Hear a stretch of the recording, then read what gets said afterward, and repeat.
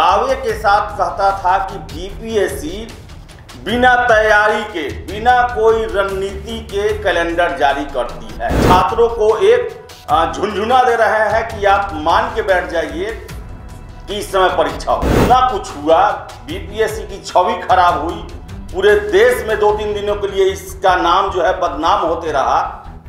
बावजूद इसके कुछ सुधार दिखाई नहीं दे रहा। दे दिया गया झुंझुना कि दुर्गा पूजा से पहले परीक्षा होगा नमस्कार, आप देख रहे हैं एनबीसी 24 मैं हूँ आदेश पुरी बीपीएससी सड़सठवीं पीटी। अभी एक ऐसा विषय बना हुआ है जिसको लेकर 6 लाख कैंडिडेट परेशान हैं, इंतज़ार कर रहे हैं। हमने कल खबर चलाई थी कि बीपीएससी सड़सठवीं पीटी अगस्त अंतिम सप्ताह में प्रस्तावित है आयोग के द्वारा। कैलेंडर में कहा गया था। लेकिन आप देखिए कि अभी तक 14 अगस्त है और इसको लेकर कोई सूचना नहीं है। कल हमने खबर चलाया तो आज समाचार पत्र में बीपीएससी पीटी से संबंधित एक खबर दिया गया है। और मैं हमेशा से हमेशा से, जिस दिन से 18 जून को जब ये कैलेंडर जारी किया गया, या उससे पहले भी बीपीएससी का कैलेंडर जारी किया गया था तो मैं दावे के साथ कहता था कि बीपीएससी बिना तैयारी के, बिना कोई रणनीति के कैलेंडर जारी करती है। और जारी करने के बाद प्रयास शुरू किए जाते हैं। ऐसा ही कुछ खबर जो है, समाचार पत्र में आज आया है कि अगस्त अंतिम सप्ताह में जो बीपीएससी की तैयार का पीटी परीक्षा होने वाला था, तैयारी नहीं होने के कारण अब दुर्गा पूजा से पहले लिया जाएगा। देखिए कि कैसे कैलेंडर बनते हैं और कैसे आयोग कार्य करता है, ये बातें अब सही होकर निकल रही हैं। मैं हमेशा से, जो कैलेंडर जारी हुआ, उस तरह कैलेंडर जारी नहीं होता है। एक राज्य का सशस्त्र सबसे बड़ा, जो भर्ती इकाई है, उसके द्वारा ऐसे कैलेंडर जारी नहीं किए जाते हैं। ये कैलेंडर ऐसे तरीके से जारी किए जाते हैं कि लगता है कि बस, अपनी हम फॉर्मेलिटी पूरा कर रहे हैं छात्रों को एक झुंझुना दे रहे हैं कि आप मान के बैठ जाइए कि इस समय परीक्षा होगा। अभी ही आप देख लें, जो भी कैलेंडर में परीक्षाओं की चर्चा की गई थी, कोई परीक्षा समय से नहीं हो पाई। प्रधान शिक्षक के भी परीक्षा के डेट टालने पड़े। आपको बताएँ कि जो सूचनाएँ निकल के आ रही है, उसके मुताबिक बीपीएससी का जो सड़सठवीं का पीटी का परीक्षा अगस्त अंतिम सप्ताह में होने वाला था, तैयारी पूरी नहीं होने के कारण एक नया समय समय सीमा दिया गया है डेट नहीं दिया गया है। दुर्गा पूजा से पहले कराया जाएगा। इसको लेकर अगले हफ़्ते एक मीटिंग होने वाली है बीपीएससी में। नए अध्यक्ष आए हैं। हालाँकि अध्यक्ष साहब पाँच अगस्त को ही कार्यभार ले चुके हैं। और सबसे महत्वपूर्ण परीक्षा, किसी भी लोक सेवा आयोग की सबसे महत्वपूर्ण परीक्षा सिविल सेवा की परीक्षा होती है। सबसे पहली प्राथमिकता उसी परीक्षा को लेकर होती है, चाहे वो यूपीएससी हो बीपीएससी हो यूपीपीसीएस हो, या जेपीएससी हो, या अन्य राज्य की लोक सेवा आयोग हो। लेकिन बीपीएससी में देखिए कि 18 जून को पहला एक कैलेंडर के तरह से प्रण होता है, जिसे पूरा करना होता है। उसी में फेल कर गई, सबसे बड़ी परीक्षा में ही फेल कर गई। आखिर तैयारी क्यों नहीं हो पाया? यूपीएससी देश का सबसे बड़ा भर्ती इकाई है। उसके द्वारा कैलेंडर पहले ही जारी कर दिया था। डेट सहित पीटी कब होगा, मेंस कब होगा, इंटरव्यू कब होगा, ये सब कुछ बता दिया जाता है लगभग उसमें। और उसी डेट पे सारा कुछ होता है, क्योंकि वो तैयारियाँ उसी को ध्यान में रख के करता है। और देश में यूपीएससी जब डेट दे देती है एग्ज़ाम का तो सभी को एक तरह से अनिवार्य हो जाता है कि उस डेट पर व्यवस्था किया जाए, संसाधनों को दिया जाए।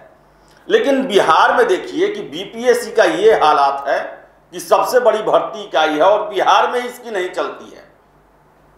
बेतिया के दो दो सेंटर कहते हैं कि हम बीपीएससी का परीक्षा नहीं लेंगे, इनकार करते हैं लेने से।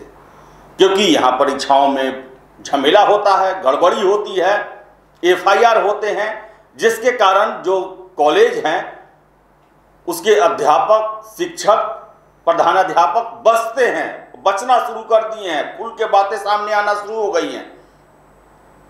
कि कॉलेज की छवि पर इसका नकारात्मक प्रभाव पड़ता है। तो बीपीएससी देख लीजिए, और देखिए, अभी भी डेट नहीं दिया गया है। अभी भी दुर्गा पूजा से पहले करा लिया जाएगा। डेट नहीं दिया गया है। मीटिंग होना बाकी है। अगस्त आधा निकल गया। क्या आपको लगता है कि सितंबर में ये परीक्षा हो जाएगी? मुझे तो नहीं लगता है। ये मेरा अपना पर्सनल पर्सनल ये अनुमान है कि नवंबर से पहले परीक्षा नहीं होने जा रही है। क्योंकि दुर्गा पूजा है, उसके बाद त्योहारों का समय शुरू हो जाता है बिहार बिहार में। छठ तक वो बना रहता है त्योहार का समय। तो मुझे विश्वास जो है, जो मुझे लगता है कि नवंबर से पहले ये परीक्षा नहीं होने वाली है, अगर अगस्त अंतिम सप्ताह या सितंबर प्रथम सप्ताह में यह परीक्षा नहीं हुआ तो जिसकी संभावना अब न के बराबर है। तो आप समझ लीजिए कि बीपीएससी की कार्यप्रणाली कैसी है, कैसे असंवेदनशील है आयोग, लाखों छात्रों के भविष्य को लेकर, मेहनत को लेकर, दिनों रात मेहनत करते हैं छात्र, डेट के हिसाब से अपनी प्लानिंग करते हैं और सबसे बड़ा मुझे तो यह आश्चर्य लगता है कि 8 मई को इतना बड़ा बलंडर हुआ। आज़ादी के बाद पहली बार, या यूँ कहें कि बीपीएससी की स्थापना के बाद पहली बार, सिविल सेवा के प्रश्न पत्र परीक्षा से पहले वायरल हो गए। जाँच बैठा ईओयू का। मुझे लगा कि इसके बाद बीपीएससी अपने कार्यों में आमूल चूल परिवर्तन करेगी। सभी सुधार होंगे, सभी चीज़ निश्चित समय पे किए जाएँगे। एक असर दिखाई देगा जाँच का, क्योंकि उसकी छवि खराब हुई है पूरे देश के सामने। लेकिन मुझे तो उसमें कोई परिवर्तन होते हुए नहीं दिख रहा है। छियासठवीं का रिज़ल्ट की बात करें, कई कैंडिडेट सामने आके बोले, जो सिलेक्टेड है टॉप टेन में है टॉप फिफ्टी में है, कि हमारी योग्यता होने के बावजूद, हमारा रैंक होने के बावजूद मेडिकली फिट होने के बावजूद हमारी पहली प्राथमिकता बिहार पुलिस सेवा यानी कि डीएसपी जो है, वो न देकर हमें दूसरे दूसरे पद दे दिए गए।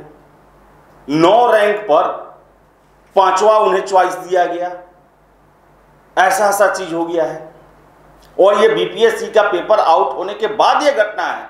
और आरोप लगा रहे हैं कई लोग कि छियासठवीं के रिज़ल्ट में भी भ्रष्टाचार किया गया है। यानी कहने का मतलब है कि इतना कुछ हुआ बीपीएससी की छवि खराब हुई, पूरे देश में दो तीन दिनों के लिए इसका नाम जो है बदनाम होते रहा, बावजूद इसके कुछ सुधार दिखाई नहीं दे रहा। आप फिर वही परीक्षा को लेकर आप कैलेंडर जारी करते हैं।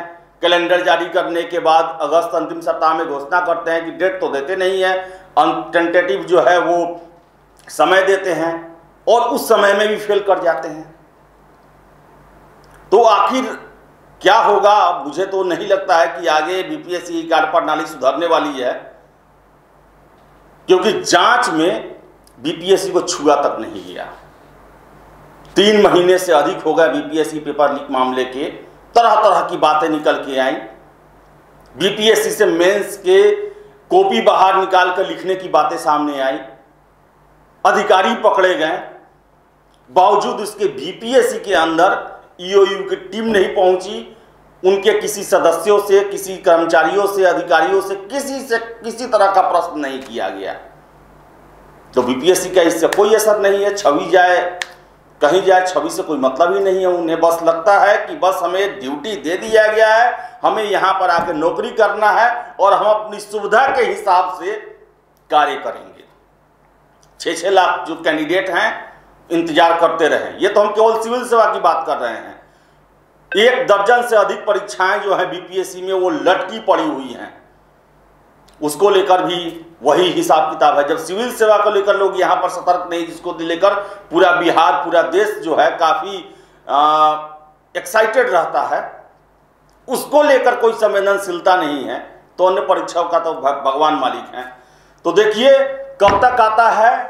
कल हमने खबर किया, उसके बाद एक दे दिया गया झुंझुना। कि दुर्गा पूजा से पहले परीक्षा होगा। डेट नहीं बताया गया है और सटीक भी नहीं है कि ये होगा कि नहीं होगा।